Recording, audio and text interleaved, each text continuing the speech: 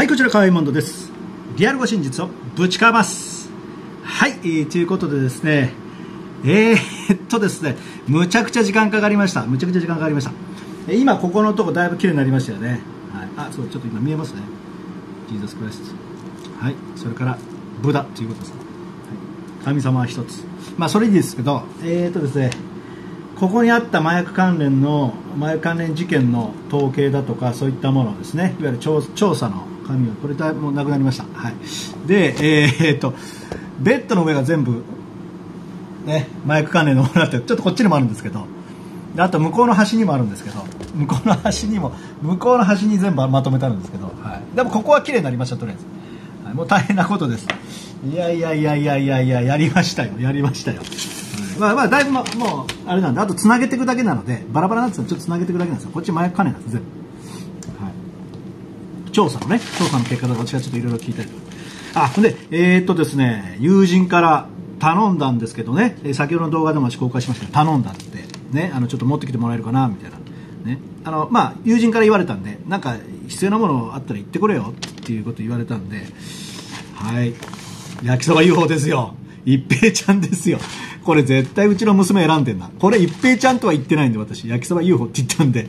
娘と一緒に行ってねあの私の親友と一緒に行ってこれ買ってるんですよねいやありがたいですありがたいですいや良かったですよ値段が6ドル6ドル6ドル6ドルでしただから400円ぐらいでした。まあまあ、まあ高いですけどね、それでも。先ほど私言ったのは大体1000円ぐらいじゃないかな、900円から1000円ぐらいじゃないかなって言って、まあかみさんからの聞いたあれもあるんですけど、いや、安かったからまだ良かったけど迷惑かけるよなと思って、本当ありがとうございます。ありがとうございます。はい。で、娘も多分これ買ってると思います。娘にも、娘が欲しいと思うんだけど、みたいな、なんか本当迷惑かけてるほしい。いやいやいや、まあでもね、あの、いつもこういろいろやってもらえる、本当にありがたいですよ。えーね、まあこれ、下着もそうですけど、下着はちょろっとで、ちょろっとでよかったんだけど、とてつもない数が来たっていう。20枚ぐらい来てるっていう。いや、本当に、いや、これ使えますよ。私、こっちのいる時もずっと使えるでしょこれ、だから。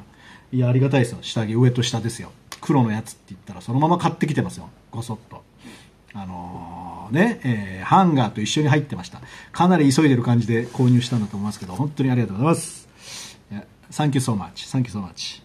そう、そういうことですよ。本当にありがたい。で、あと KFC もね、頼んでなかったんですけど、私は、KFC、いやいや、ありがたいですよ、本当に。KFC 好きだから。山盛り入ってるから、いや、今からディナー私食べるんですけど、後でちょっと食べさせてもらいますよ、これは。本当ありがたいですよ。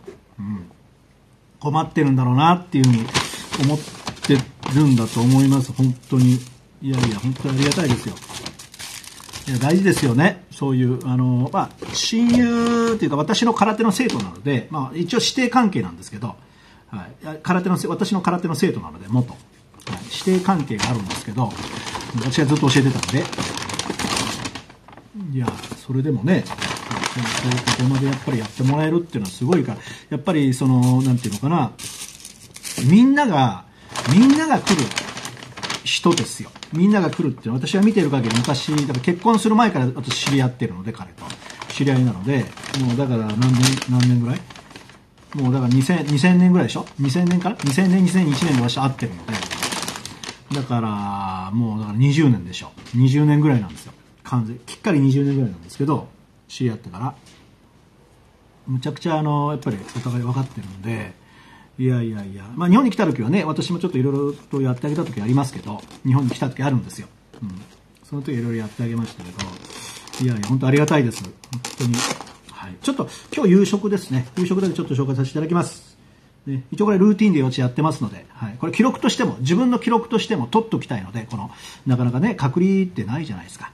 ね、隔離がないので、それをちょっと、紹介したいなっていう、自分のためでもあります、これは。はい。はい、えーっとですね、えーっと、ディナー、ロースチキン with pumpkin and green bean gravy cake and drink ってことですね。まあ、こういう風に来てます。で、明日の、えーあれも来てます。明日こういうのがありますよっていう紹介ももうすでに来てます。はい。すげえ、すごいな、これ。びっくりした、自分が来て。びっくりした。ちょっといいですか？あれこれあれですよね。ケンタッキーフライドチキンですよね。山盛り。ね、ありがたい。チキン。チキンでした。チキンですよ。だから、そのローストチキンですよ。ローストチキンですよ。いや、チキンまみれですよ。本当に。ありがたいことに。ありがたいことに。私はありがたいですよ。それは本当に嬉しいです。ちょっと、ちょっと完食できないなと思って、これ絶対終わらせなきゃダメなんで、これね、腐っちゃうじゃないですか。いや、そうだ、これちょっと今日はな、他のものも食べれないなっていう。他のもの食べたらダメだなっていう。ちょっとやっぱりね、オーバーしちゃう場合もあるので、いや、ありがたいな、これ。はい。ちょっとじゃあ食べさせていただきます。はい。いやー、どうだろう。チキンどうですかね。あ、そうか、今日スプーンは。はい、ちょっとじゃ食べさせていただきます。はい。ローストチキン。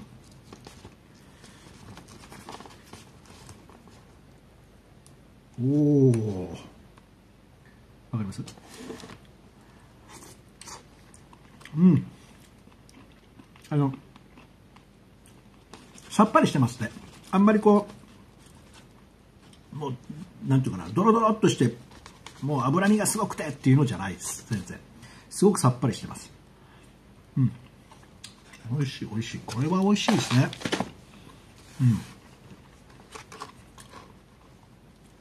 うん。で、この瓶もね、瓶もこう入ってるわけですよ。こういうのはね。うん、うん。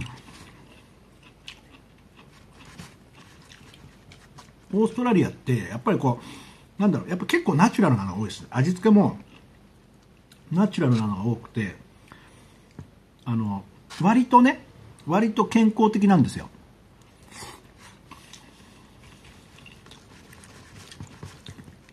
皆さんのイメージだと結構なんかドロドロで脂身がすごくてみたいなじゃないですか。実はそうでもないですよね。うん。やこれは美味しい。これは美味しい。うん。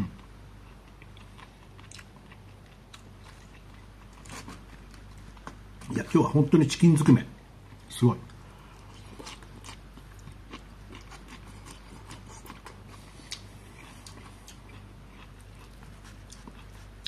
どうですかね？皆さんやっぱり外国行くと日本のものが恋しくなったりとかしますかね？私前も言いましたけど、ライブでも言いましたけど、あんまりないんですよね。日本のもの好きですよ。日本の食べ物すごく好きですよ。うん。あの、オーソドックスな味噌汁、ご飯、漬物とかね。全然好きですよ。だ襟好みはしないですね、だからね。うん。海外に行っても海外のもので全然満足できますし、そういうことですね。まあ、食べ物が好きなので、基本的に食べ物が好きなので、そこは大丈夫。あ、と、パンプキンですね。パンプキン。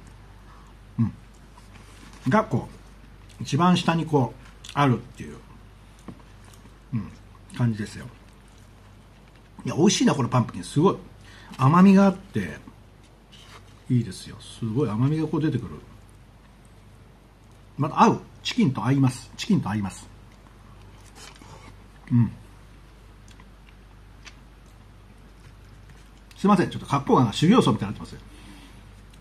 あの、あれですよ。隔離という名の修行をやってますから、私。はい。隔離という名の修行。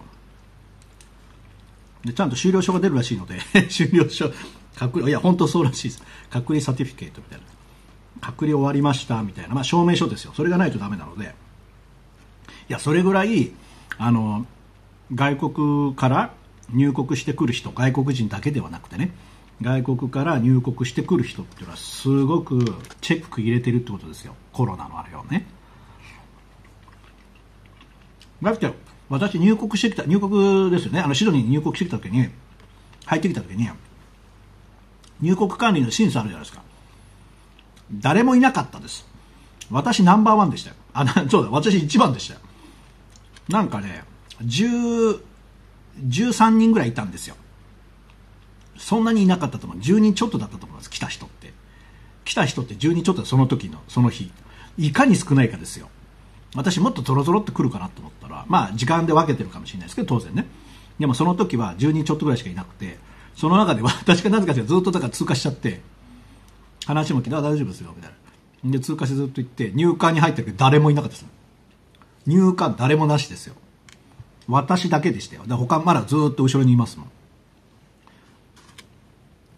でチェックしてパッてやって。でパスポート通すじゃないですか。スタンプも押してないと思いますよ多分。あれで出ますからね。入管のあれでピッて出ますから。私入管の友達いたんで昔。あのシドニーで、えーと、ナイトクラブを行ったりするときに友達募った時に入管の入管で働いて見える女性2人が来たんですよ。でそれで私、あの一緒にご飯食べに行ったりナイトクラブ行ったりとかしてトラブルがちょっとあったんですけどね。前も話しましたけどあのこんなでかい男に蹴飛ばされたっていうで吹っ飛んだっていう前話しましたよね。で何ともなくて全然大丈夫でフルコンやってるから。でパーって近寄ってってあごめんねみたいな。私写真撮っちゃったんですよね彼の顔。多分多分そっち系の水場やってたのがなんかそんなやばいやつだと思うんですけど写真撮っちゃって向こう怒ってきたっていうのありましたけどまあその時に知り合った税関の方が見えるんだね私。税関職員の方は知ってるんですけど、まあ、その方も言ってたんですけどデータでパッと出るらしい。一発で出るらしいです。で何か問題があった時はバンって出るって言ってました。コードで出るって言ってました。だからコードで出てなかったんでしょうね。で私あ大丈夫か？あ大丈夫ですよって言って。大丈夫ですよって言ってパって通過したら一応止められて男性に「あ今日何で来ましたか?」って言ってかな2回目止められるんですよ。入管通過しても止められるんですよ。前にいるんで3人ぐらい。で怪しいと思った人は声かけるんですけど、まあ、一応声かけたんでしょ私。あの上陸許可あるかどうかって。かかなり厳しいですからね。でパッとああの奥さんと子供何に来ます？ああそうですか。みたいな。あれ見せた方がいいですかね？上陸許可の紙とか見せた方がいいですかね？ってエクゼントってやつを。って言ったらああ必要ない必要ないです必要ないです。あのさっきの入管の時のコンピューターでバンと出てるんで大丈夫って言われました。何かあれば出ますって言って。ああそういうことですか。はい言ってください。なんかあなんかあのデクレア。結局何か申告するもあります。あありますあります。あの数珠。これ木でできてるでしょ。木製でできてるやつはダメなんですよ。だから一応申告はしなきゃいけないからちゃんとしっかり正直にあこれ持ってます。こう入ってます。ここ、まあ、つけてはいないですけど入ってます。って言ったらあああそれですか。あだ大丈夫です。じゃあ言ってください。とか言って。でもうそのまま通過でしょ私何も見せてないですもん。普通に通過しました。スーッつって。もうね多分日本のパスポートの強さもあると思いますよ。ジャパニーズパスポートは最強だから。絶対的なやっぱり信用っていうのはありますから。すごいんですよ。これは。これ事実。事実です。皆さんこれは本当に誇りに思ってください。日本のパスポート。日本人がいかに海外でそういうことを悪いことをしてないかってことです。いかにそういったことをしないか関係しないかっていうことですよ。だからだからなんですよ。これ関係ないそれでレベルが決まるんで。でいろんなことやっちゃってる人たちとかはあのその、えー、国民族の方たちっていうのはグレードが下がるんです食って、はい、だから私がいた時でもね前も言いましたけどアメリカだと確か10位ぐらいだったよねえかなと思いますよ。かなり低かったですよ。思ったよりも。アメリカですよ、はい、日本はナンバーワンか2です。いつも。はい、そういうことです。だから日本人っていうことを皆さんはあの誇りに思っていただきたいと思います。それぐらいすごいです。はい、信用ってめちゃめちゃ大事ですから、ね。はい。ではですね、えー、まあ、そう、まあ、これ、私今食べてますけど、ね。いや、美味しいです、美味しいです。かなり美味しい。デリシャスです。はい。満足しております。I'm satisfied です。はい。はい、ということですね。はい、それではですね、また後ほど、えー、ライブ配信でお会いしましょう。私ちょっとそうですね、これまたやって、引き続きやっても終わらせます。まあ、結局2日で終わりましたね。2日だな、2日で終わった。まあ大丈夫ですね。はい、ということですね。はい、それではまた、後ほどお会いしましょう。リアルご親奏。ぶちかます。